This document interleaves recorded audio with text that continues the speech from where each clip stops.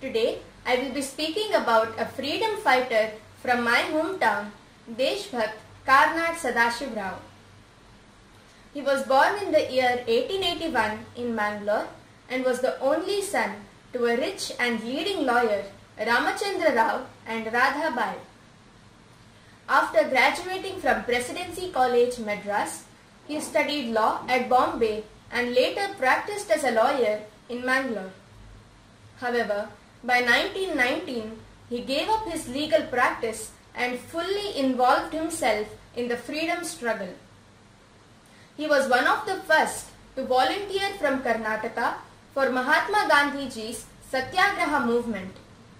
He participated in Dandi March and was responsible to unite various communities of South Kannada district for the cause of freedom.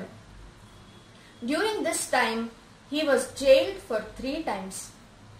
He was the soul of non-cooperation movement wherein he moved from town to town to create awareness and inform people about freedom and independence. He was known as the Gandhi of South.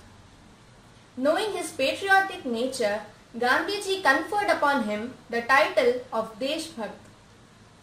He was also a social reformer, a humanitarian who gave up all his wealth for the development of the nation and for serving his poor fellow Indians, so much so that he died penniless with not enough cash even to perform his final rites.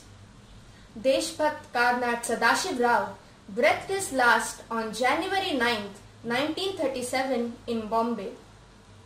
He was aptly referred to as Dharmaraj, an embodiment of charity by the great Kannada writer Dr. Shivaram Karanth.